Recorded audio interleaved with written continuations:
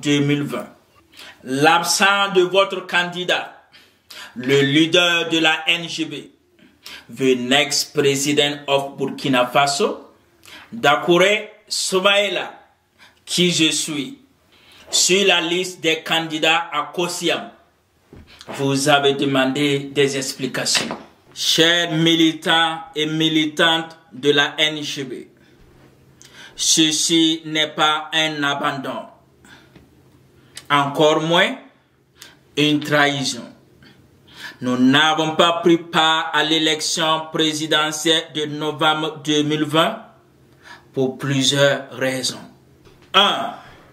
L'administration de Dakouri et the next president of Burkina Faso, Dakouré Somaïla, voudrait donner une dernière chance à nos aînés, les principaux acteurs de la classe politique vieillissante, appelés vieux pères politiciens, face leur dernier combat politique 2020. Pour nous, c'est une occasion pour eux de se racheter, de gouverner avec toute transparence et intégrité.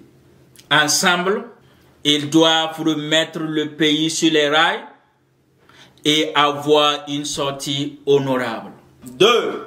Notre attention à ces élections est tirée d'un réalisme politique et une décision approuvée par l'administration de Dakouré la popularité de la NGB et notre engagement à la réalisation du projet de société Vive le Burkina Faso ne doit pas nous valer la face.